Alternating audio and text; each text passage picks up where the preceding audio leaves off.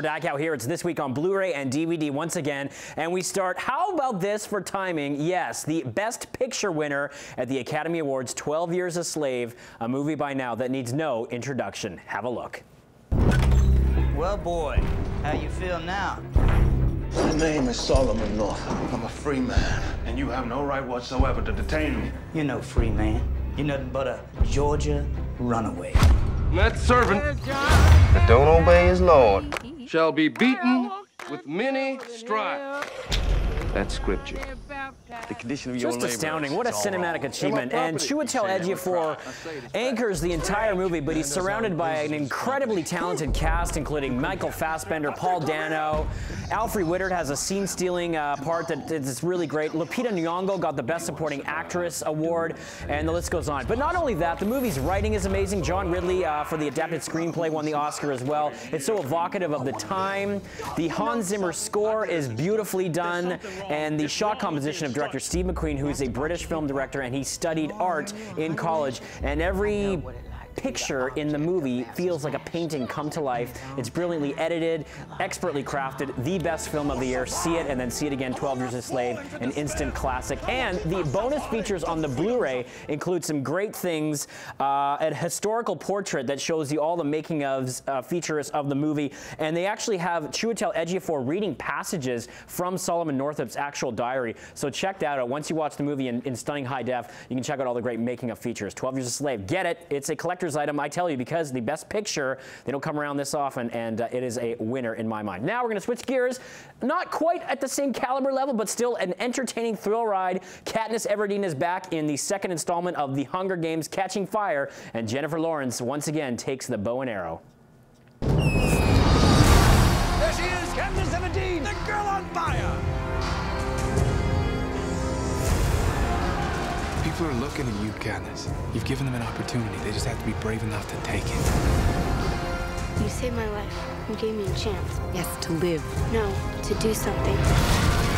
Well, this was astoundingly better than the first one. Yeah, you might as well just skip the first one and uh, go right to this one. Uh, so Katniss and Peeta are on the victory tour through all the districts, and then um, at the end of it, President Snow, played by Donald Sutherland, announces a deadly 75th Hunger Games that could change Panem forever. Basically, all the previous winners have to get together themselves and fight it out in a tropical location. So sad seeing Philip Seymour Hoffman in this one. And in the bonus features, I always check out the bonus features on these movies. This has two and a half hours of making of features, amazing. And they shot this movie on film, which is a rarity these days. So it looks great. It's got tons of thrilling action, and uh, the acting is, is awesome too. And the uh, dystopian future that it examines is uh, really uh, sort of effective. In the, they got a new director for this one, and you really see uh, how it was a step up from the first one. But again, the bonus features, I can't stress this enough. There was so much craft that went into making it, and it's all beautifully laid out here uh, in the features. So watch this movie and then get settled in because there are some fascinating glimpses at how they created The Hunger Games Catching Fire. And will be two more installments. Of course, they're uh, splitting The Mockingjay into two movies, so you can expect those in the near future. Next, in the sort of similar fighting vein, we're talking about martial arts now. It's The Grandmaster, and this is based on the true story of the man who actually trained Bruce Lee. Asian superstar Tony Leung portrays legendary kung fu master Ip Man, who survived the turmoil of the 1930s in China and changed the world of martial arts forever. Uh, this is a visually stunning saga. It's got love, honor, vengeance, and some breathtaking action uh, courtesy of choreographer Yuen Wo Ping, who worked on The Matrix and Kill Bill. The movie's a little bit slow at times, but it tells a great story, and I'm a big fan of Tony, Tony Leung. I loved him in Lust Caution, and uh, this is a great movie. It's uh, just sort of refreshing, and you don't see uh, original ones like this all the time. When martial arts movies come along, oftentimes they're uh, you know a little too animated and too fantasy driven, but this does a sort of great uh, realistic glimpse at this guy's life, and again features some breathtaking action sequences. So check that one out. A very fascinating story. Finally, we leave you with a dud, unfortunately, and it stars Bryan Cranston with a really bad Russian accent. Cold Comes the Night. Alice Eve stars as a woman who runs a hotel, and she gets kidnapped by a criminal mastermind played by Cranston. Get a load of this.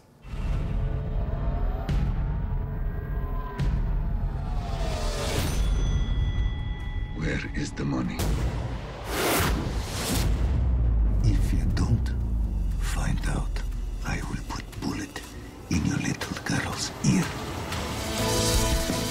This is like a bad made-for-TV movie, unfortunately, and I'm surprised that Cranston uh, took the role, but I mean, he needs a paycheck too.